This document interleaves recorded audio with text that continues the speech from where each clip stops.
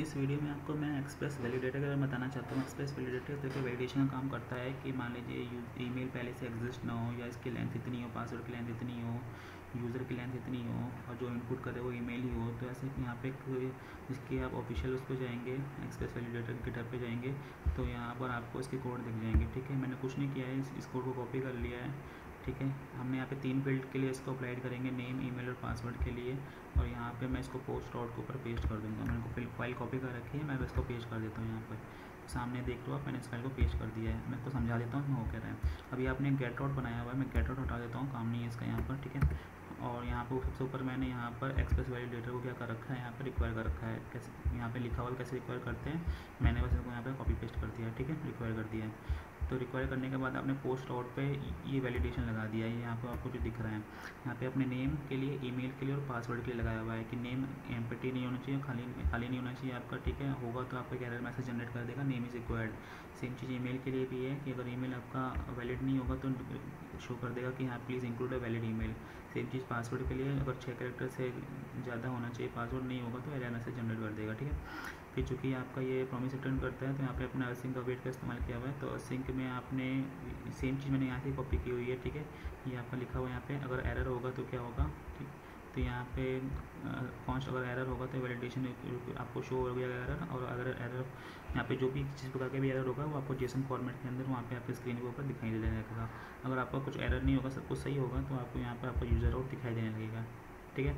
आपको ये सारे कोड याद रखने की ज़रूरत नहीं है। आप बस वहाँ पर इसके रिपोजिटरी कॉपी करिए, यहाँ पे इसको पेश कर दीजिए। किस पे अप्लाइड करना है, बस आपको ये पता होना चाहिए। तो यहाँ मैंने इसको कॉपी कर लिया है, ठीक है? अब इसको मैं चेक करने के लिए मैं इसको पोस्टमैन पर चेक करके देखता हूँ कि मेरा सही है कि नहीं है, ठीक है? तो पोस्टमैन पर जाइएगा। इस बार आपको एक दूसरा बनाना पड़ेगा पोस्ट आउट बनाना पड़ेगा। तो पोस्ट बनाने के लिए आप यहाँ पे क्या सेलेक्ट करोगे? पोस्ट सेलेक्ट करोगे। यूआरएल सेम रहेगा जो आपके यहाँ पर है तो उसको कॉपी कर लीजिए। आप यूज़र आउट बना रहे हो ना तो उसको यहाँ पे यूज़र आउट पे क्लियर कर देना। तो यहाँ पे इसका नाम क्या कर देना? यूज़र आपको हेडर्स में वही भरना है कंटेंट टाइप और वैल्यू में भरना है एप्लीकेशन जैसे जैसे आपने पिछले वीडियो में भरा था। वो बॉडी मार के आपको यहाँ पे रॉ सेलेक्ट करना है, और रॉ सेलेक्ट करने के बाद आपको यहाँ पे तीनों वैल्यू को भेजना होगा। भेजने के लिए आप मैंने फ़ाइल कॉपी कर रखी है। तो आप नेम ईमेल और पासवर्ड अपने हिसाब से भर देना, ध्यान देना कॉमा लगाते हैं तो कॉमा लगा दीजिएगा, ना इधर आएगा आपका। अगर सब कुछ सही रहेगा आपका, देखते हैं, एक बार चेक करके। हाँ कुछ एरर आ रहा है चेक करते हैं। हाँ इस तरह की एरर आया तो तो आपको अपने बॉडी पार्ट्स नाम का जो वो होता है बॉडी पार्ट्स यूज़ करते हैं पोस्ट आउट के लिए तो तो उसके लिए आपको यहाँ पर सर्वर में जाके बॉडी पार्सल का इस्तेमाल करना पड़ता है तो पे सर्वर पे आप आ जाइए और यहाँ पे आप यूज़ करिए बॉडी पार्सल का तो कैसे यूज़ करते हैं ऐप डॉट यूज़ अब पहले बॉडी पार्सल अलग से इंस्टॉल करना पड़ता था, लेकिन अब एक्सप्रेस के साथ रिबिल्ट हो गया है एक्सप्रेस डॉट जेसन ठीक है और यहाँ पे आप क्या लिख दोगे? एक्सटेंडेड और यहाँ पे क्या लिख दोगे? फॉल्स ठीक है? क्लियर है? इसको आप यहाँ पर सेमीकोलन लगा देना।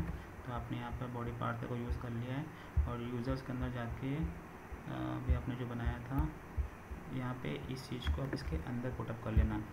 ठीक है? वो बॉडी से बाहर ही हो गया था। तो यहाँ तक सही है? चेक करते हैं। आपका सही होना चाहिए वो? एक बार देख लेते हैं कनेक्टेड है कि नहीं है मेमोरी भी कनेक्टेड हो चुका है। और यहाँ पे आके अब इसको भेजने की कोशिश करते हैं। तो यहाँ पर यूज़र आउट्स आपका आ गया है। बिल्कुल सही हो गया अब आपका। ऐसे ही आपने यहाँ पे तीनों चीज़ को भेज दिया है और आप पोस्टमैन में जाकर आप अपने उसमें जाकर देखेंगे मैंगो टी के एटलेस में जाके तो आपका ये रिकॉर्ड डेटाबेस में जाके स्टोर हो चुका होगा। ठीक है? इस वीडियो के लिए इतना ही। Thank you